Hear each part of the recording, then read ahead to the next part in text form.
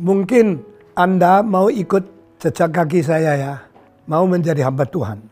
Saya umur 8 sudah ikut-ikut khotbah.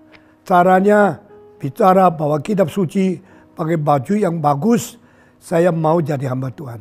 Tapi sampai umur 12, saya dengar khotbah yang bicara banyak orang di dalam dosa.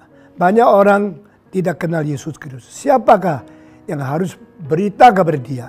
Waktu itu saya berkata, Tuhan saya mau.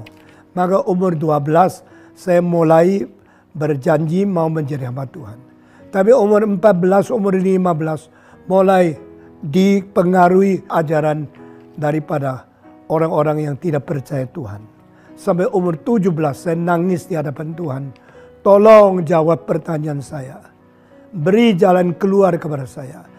Kalau saya bisa mengerti dengan sungguh-sungguh Tuhan hidup, Tuhan ada, dan Tuhan mempeduli.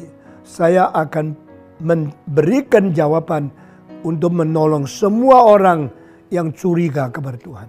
Saya akan ke seluruh dunia menjadi penjawab untuk orang-orang muda yang lain. Akhirnya Tuhan pimpin saya umur 17 saya sekali lagi nangis membasahi pakaian di depan. Lalu Tuhan dengar doa saya. Dan saya menyerahkan diri menjadi hamba Tuhan sampai sekarang.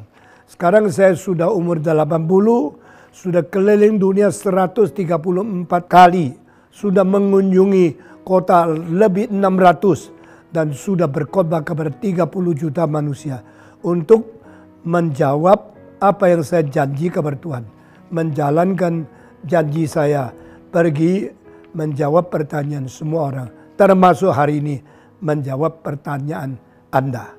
Terima kasih.